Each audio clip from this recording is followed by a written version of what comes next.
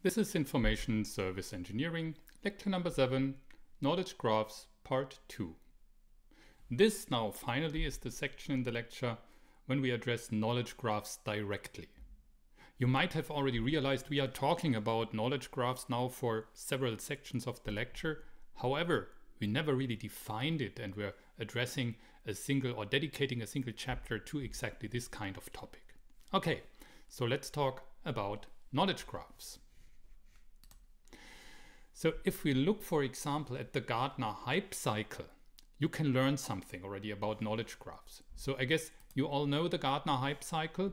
So this is rather interesting because it tells you about every new and innovative technology that enters here the market or the attention of the public. Um, use, what Gartner does is they try to put them on a specific graph, so on this curve of a so-called hype cycle. And this hype cycle usually starts with an innovation trigger where everybody has really high, high hopes. And you see here that these hopes, of course, these expectations, they rise, they rise, they rise until they reach a kind of peak. And this is the peak of so-called inflated expectations. And then everybody realizes, oh my God, yeah, we, we, we thought so much of that technology and it would be so good and it would help for all of the problems of mankind. But probably it doesn't. So you go down again until you reach the throw of disillusionment.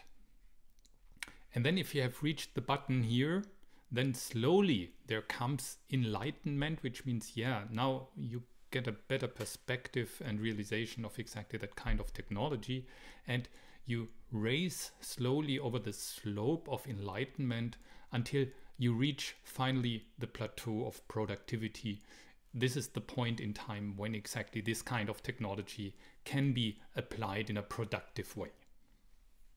Okay, uh, what you also see here, this kind of uh, technologies, and this cycle is from 2019, so it's already two years old. Uh, the 2021 doesn't exist. I will show you the 2020 later on. Uh, just for explanation, these colors also indicate here, for example, gray indicates that the time to reach the plateau will be two to five years, and yellow means that the plateau will be reached in five to 10 years. And as you can see here, already, here are the knowledge graphs and they have risen rather high already in 2019 according the expectations, reaching the plateau or the peak of inflated expectation in 5 to 10 years from now. So this was in 2019, so you see knowledge graphs as a topic are on the rise and are rather important. If we look at the 2020 hype cycle, of course, there are completely different technologies here available. Knowledge graphs are not here exactly on the hype cycle curve. However, what we see here are ontologies and graphs, and of course knowledge graphs also are graphs related to ontologies, so they belong exactly here, and they already have reached uh, the throw of disillusionment and already reached, uh, almost reached here also, um, let's say uh, the, the, the, the bottom and soon they will rise on the slope of enlightenment to reach the plateau of productivity. And telling you, I'm working now with ontologies for, I would say, 15 to 20 years now, and also with knowledge graphs for a rather long time.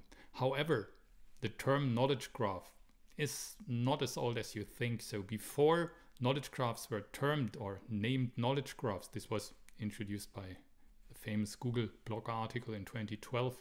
Before that, we simply were relating to semantic web technology or semantic technologies when we were referring to these kind of knowledge graphs. Okay, but you see, it has relevance, the topic that we are doing here in the lecture. And therefore, I also want to define now for you what is a knowledge graph. So we try a kind of definition. And of course, we will put a lot of things in it that, of course, all relates to knowledge graph. So a knowledge graph, first of all, is a graph. And it consists of many things. So not only like we have here in the semantic web-based knowledge graph classes and instances. Besides classes, we might also have abstract concepts. So a graph consisting of concepts, classes. Then you have properties of these classes. You have relationships between these classes, and you might have entity descriptions. And um, basically a knowledge graph earns the term knowledge graph simply because it's based on a formal knowledge representation, like, for example, semantic web technology, RDFS, and OWL. And the data that you see there can, but does not have two be open. So it can be open, like, for example, in DBpedia or Wikidata to knowledge graphs we will address then also in the next lectures. They can be private, like, for example, in, in a supply chain, or they might be closed, like product models. The data itself can be original data, it can be derived from somewhere, it can be aggregated from many sources. And we distinguish usually instance data, data about instances, kind of ground truth. And then we have schema data, which are our vocabularies and ontologies. So this is the schema behind. And we also differentiate here metadata in the sense that, of course, we might need provenance information. So who stated which fact when? We need versioning information. So is this fact still valid? We need licensing information. Can this fact be accessed by everybody? And under which conditions? So then taxonomies usually as part of the ontologies that are underlying the knowledge graphs, they are used to categorize the entities. And you have links between internal and external data here in the knowledge graph, including mapping to data stored in other systems and databases. And most importantly, since this is a rather important and popular term nowadays, it's fully compliant to the FAIR data principles. You have heard about FAIR data. FAIR stands for findable, accessible, interoperable, and reusable. Of course, this is the ideal that we want to reach also for our data. And knowledge graphs are one of the tools that you can use to enable fair data. Okay, but we will come back to this point later on. So let's continue our definition. You see a knowledge graph is data or it's a data set. And this data set can be structured. So in the form of specific data structures, it can be normalized consisting of small units such, such as vertices and edges. And most of all, it's connected. So it's defined by the possibly distant connections between these objects, which are represented within the knowledge graph. Moreover, typically, knowledge graphs are almost explicit, which means they are created purposefully with an intended meaning. They are declarative. This means meaningful in itself, independent of a particular implementation or algorithm. They are or might be annotated, which means enriched with contextual information to record additional details and metadata like the provenance information, the license information, and so on.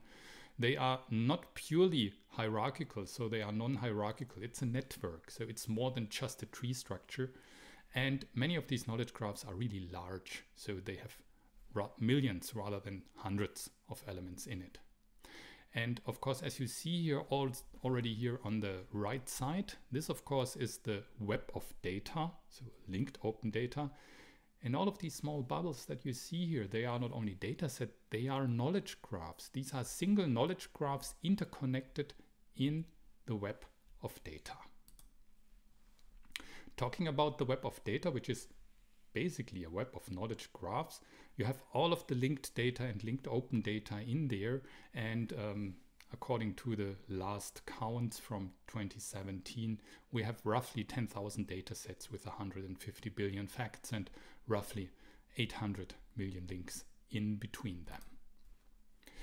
And of course, how are knowledge graph used?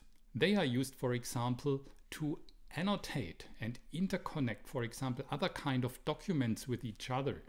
And by that, by interconnecting, you know, these documents that you have there with entities and thereby also with classes in the knowledge graph, what you do there is you interconnect these documents based on their content.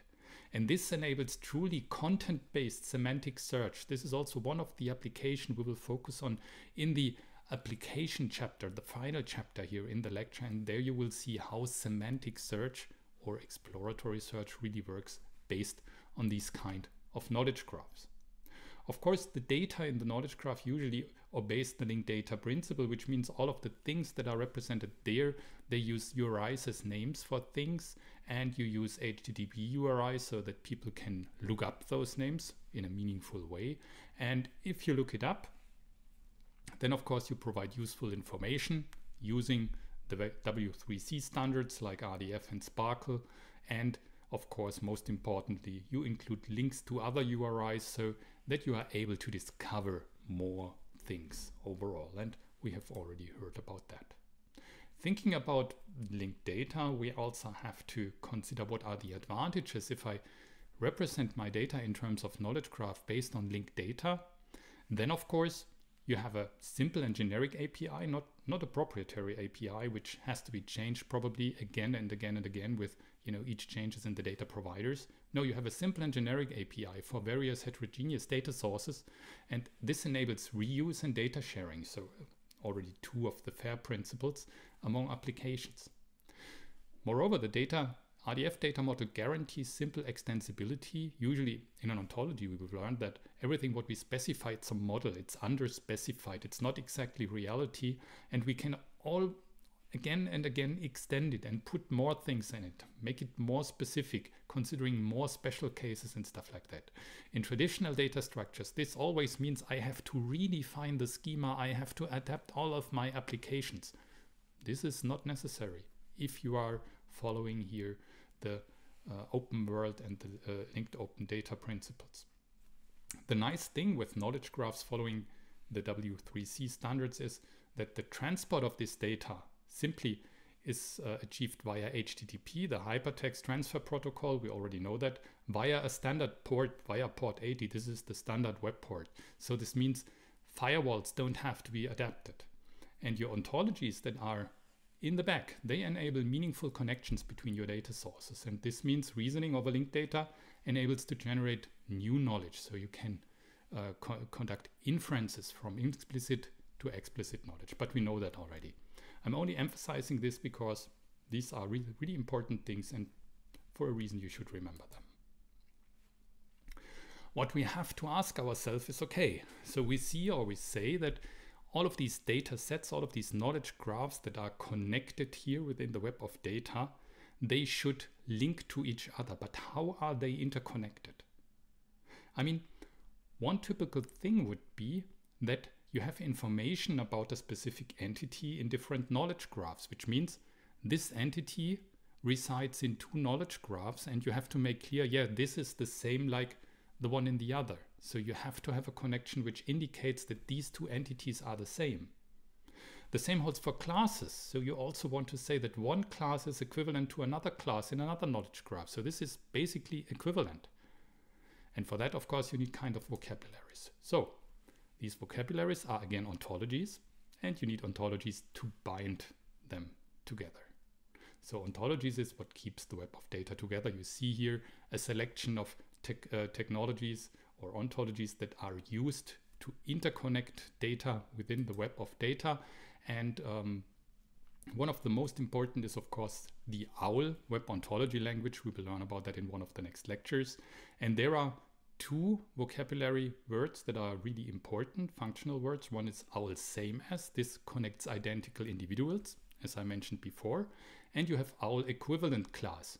This is a property which connects equivalent classes across different vocabularies, across different knowledge graphs. So this is really important and this is or are one two of the most important let's say um, two of the most important vocabulary parts that we need um, simple example you have here Joseph Fourier and if you want to indicate that Joseph Fourier in the knowledge base Wikidata is the same Joseph Fourier in Wikidata, where it has another name. So the URI of Joseph Fourier in Wikidata is Q8772. You simply put the property OWL same as in between them, and then you have the triple DBR, standing for DBpedia resource, Joseph Fourier. OWL same as is exactly the same entity as WD Q8772 in Wikidata.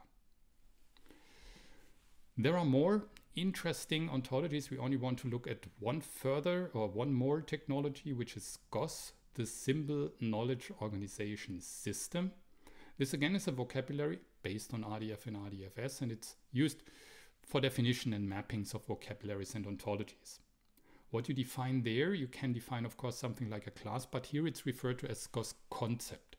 And this is a bit more broader than the usual classes we are dealing with because a concept can also be something which cannot be instantiated. However, it can also be a class.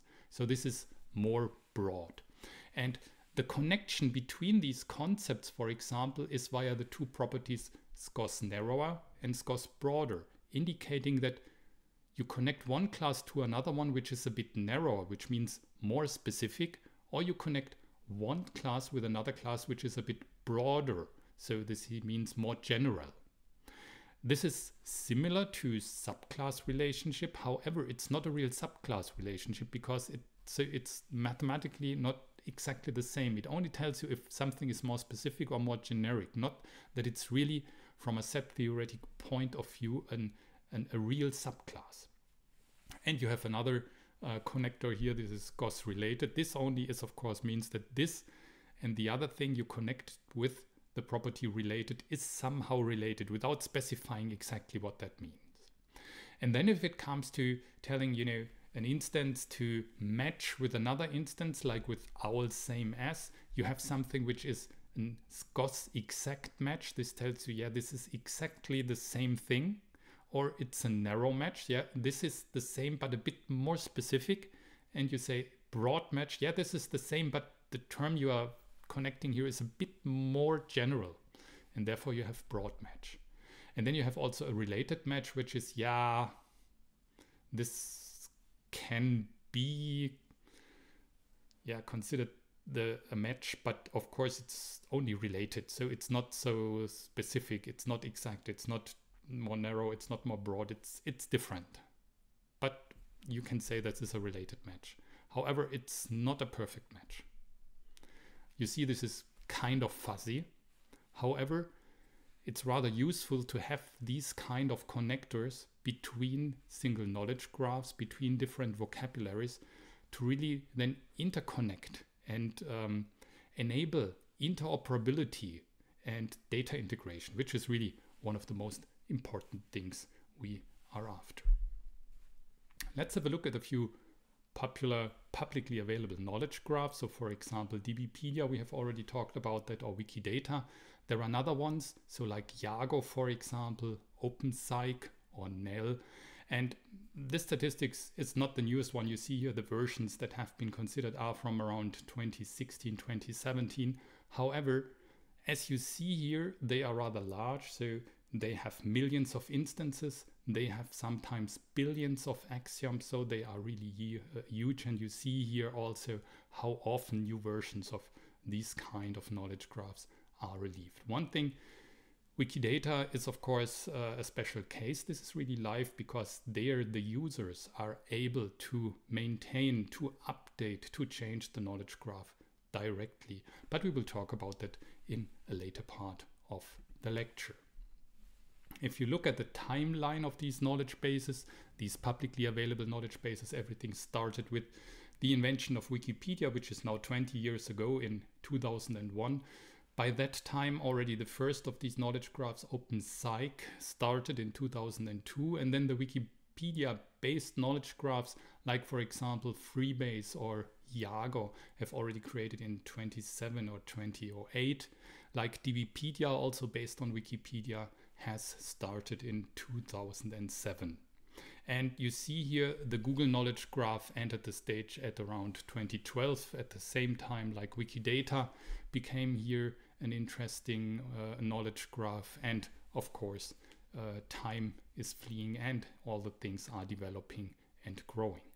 And there are not only these uh, publicly available data sets or publicly available knowledge graphs, of course, there are also proprietary knowledge graphs, commercial knowledge graphs, which are maintained inside companies, inside the industry. And they often are much larger than the publicly available knowledge graph. So Microsoft has, of course, a knowledge graph, and here the size is only estimated around 2 billion primary entities, 55 billion facts. So this is really huge and it's actively used here already in Microsoft products.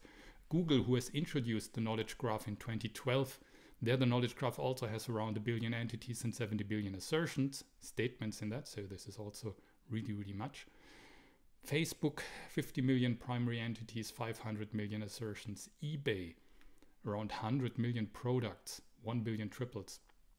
also a lot, Oh, IBM, and IBM maintains various knowledge graphs for different products and sizes. So these are only a few examples. Most of the companies today or most of the e-commerce platforms they all maintain knowledge graphs. Most of the information systems like search engines they all use knowledge graphs to improve their search to enable their uh, perfectly uh, matched search results and stuff like that. So this is technology that is used on an everyday basis. And also of course it's rather interesting to use this probably in your application pro probably you cannot directly access proprietary knowledge graphs, but there are open knowledge graphs on the web. And in the next lectures, we will have a look, especially on DBpedia and Wikidata as two popular open knowledge graphs. And more importantly, what we will look at is a query language. And this is the SPARQL query language, which enables us also to tackle such a, such a gigantic knowledge graph like Wikidata, for example, like you see here on that old picture, the whale. So you can query Wikidata, the huge knowledge graph, with a little SPARQL query and can extract exactly the data you are looking for. But this you will see then in the next lecture.